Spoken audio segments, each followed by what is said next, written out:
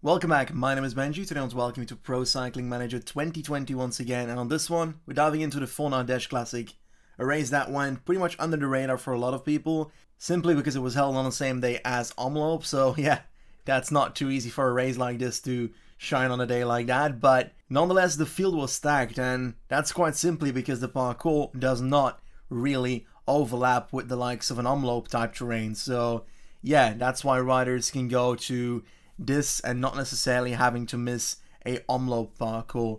This was for the real climbers, some punchers as well. Alaphilippe obviously was not here, but still an amazing field to start with. Just as a quick few names, we've got Fuglsang, Vlasov, Izagirre, Pinot, Gaudu, Reichenbach, Bettiol here as well, Hugh Carthy, Guillaume Martin at the start here, Simon Clarke, we've got Cavagna for Deceuninck, most likely not the rider you'd expect to win this, but he did last year with a crazy, crazy escaping attack from the start and he just held on. Huge gap on the others. What a race was that. But this year it went different in real life. It went more to the climbers. We'll see how it goes in game.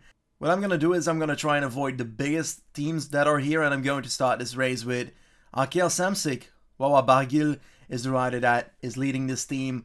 Solid climber, 76 mountain, 79 hill, and that acceleration and sprint could also help if it comes down to a bit of a punchy, reduced bunch that is sprinting at the end after that last hill. But all in all, I think our team is not necessarily the strongest to support him, but in the end, well, Barguil can take it all. I can feel it. Oh, when we've got a plus one day, that's lovely. What can I do here? Who can actually climb in this team? We have Bouet with decent climbing. He's way at the back though, so unlikely to get to the front in time. Guernalec, same story, decent climber. Delaplace seems to be relatively at the front, so what I'm gonna do is I'm gonna try and attack and have someone in the breakaway today. I don't do this a lot, doesn't happen a lot on one-day races that I do this, but I played through a few one-day races in a career mode recently, and the break ended up winning because, well, I wasn't in it. And they decided in the peloton, if you're not in the breakaway, then we're gonna let it go. But right here, I don't want that to happen. Delaplace seems to be blocked in. Can I find a way to get past people and actually get away? Someone can get out of the way. There we go. And we're off together with Prudhomme, who's also trying to get away from the peloton here, Bellico, Samenka, Remy Mertz, and that seems to be a five-man breakaway. Nope, Munoz, Gastauer, they keep on coming. In the meanwhile, let's get our man protected. I'll do so with Lucas. No, Pichon can do so at the start. There we go. Looks like the team of Guillaume is trying to control the peloton. Guglielmi as well for uh, Groupama. That's the name. I was gonna say Ajuzer, but that's clearly wrong and that's for Gaudu most likely. Rodriguez doing the same, and that's for Vlasov and Fuglsang, of course. Breakaway, 13 men, 2 minutes.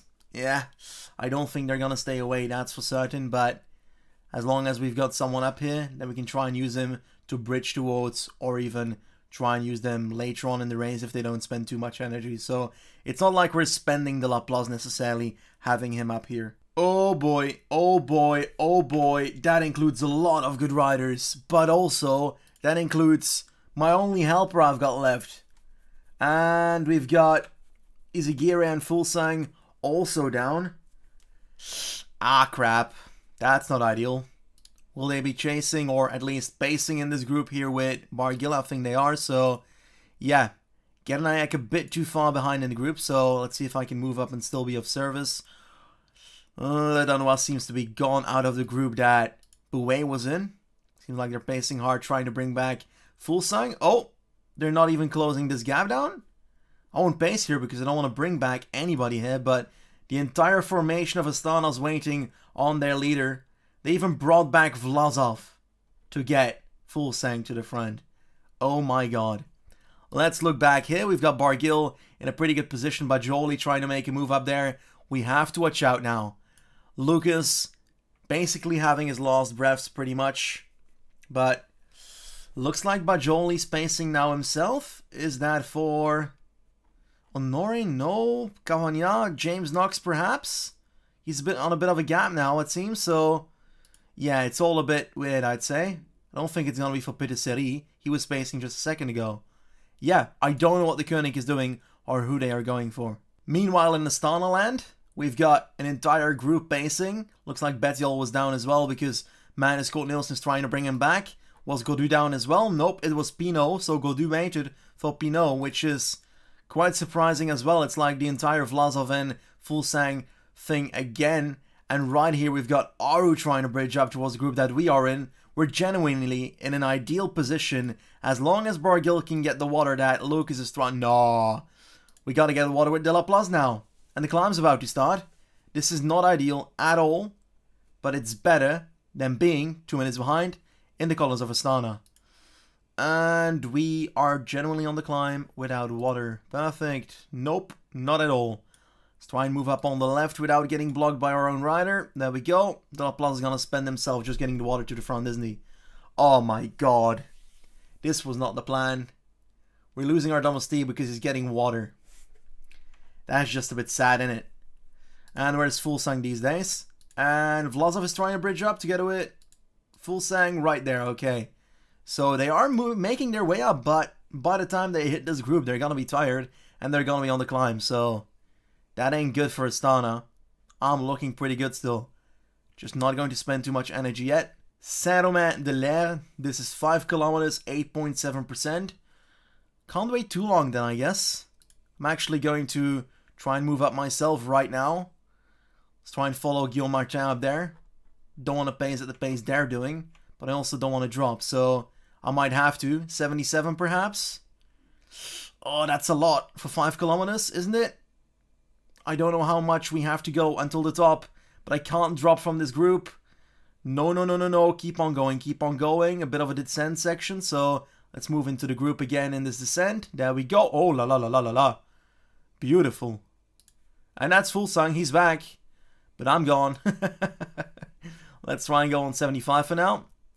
Guillaume Martin with us. Let's try and go back to 70. Oh, that's an attack by Guillaume Martin. Let's go 85 to try and follow that. I cannot follow that. Fuglsang with us. We're almost at the top, I think. I'm going to move towards 90 now to try and close it down towards the top.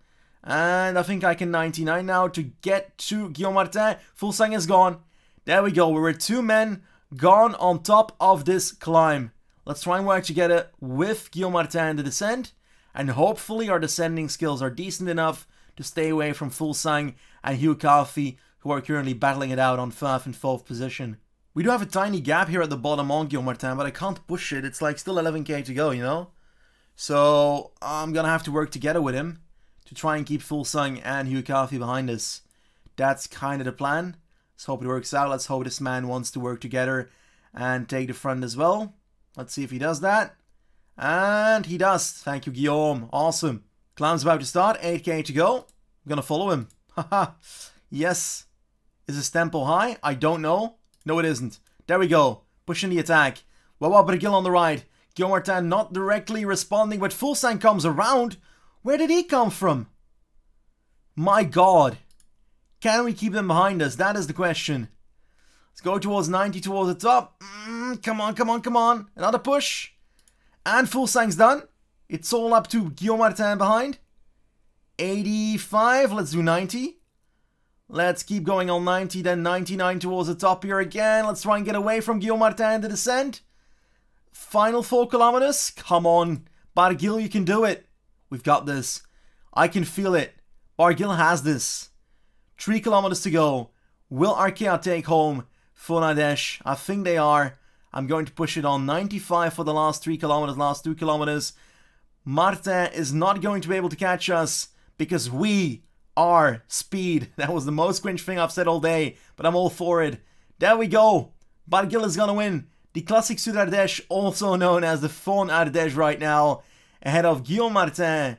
And I think that Fuglsang's gonna sprint to third. Nope, it is gonna be Simon Clarke ahead of Jacopo Mosca. What a performance. My goodness. Fuglsang does finish in the top 5. I genuinely really enjoyed that race. Wawa Barguil, what a win in the end kind of felt like a low-key Lombardia parcours because of like the big climb and then the smaller climb into the finish line. Absolutely loved it.